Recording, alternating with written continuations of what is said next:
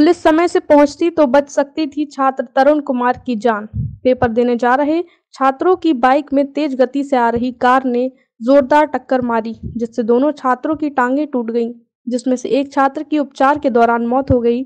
बताते चले कि तरुण कुमार, पुत्र रवि कुमार और उसका साथी निवासी सिकंदरपुर, जिला अमरोहा, अपनी बाइक से दोनों छात्र सुबह सात बजे हाई स्कूल का एग्ज़ाम देने मुरादाबाद के ग्राम डेहरा एचएम इंटर कॉलेज में जा रहे थे। जैसे ही थाना काट क्षेत्र के ग्राम शाहपुर में पहुँचे तो सामने से तेज गति से आ रही कार ने उल्टे हाथ पर लाकर बाइक में इतनी ज़बरदस्त टक्कर मारी, जिससे दोनों छात्रों की टांगें टूट गई। इतना देख लो कि भीड़, इतना देखकर लोगों की भीड़ इकट्ठी हो गई, जिस पर कार में सवार एक महिला और चालक दोनों फरार हो गए, जिस पर किसी ने घटना की जानकारी डायल हंड्रेड पुलिस को दी और छात्रों के परिजनों को दी। लेकिन पुलिस घटनास्थल पर घंटों बाद पहुँची।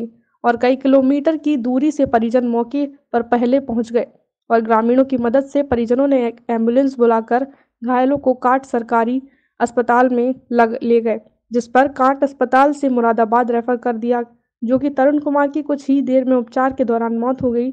दूसरे छात्र की हालत भी नाजुक बनी हुई है। अगर पुलिस समय से घटनास्थल पर पहुँच जाती तो तरुण कुमार की जाँच बच, जान बच सकती थी। मुरादाबाद से ब्यूरो चीफ शाहिद हुसैन की रिपोर्ट।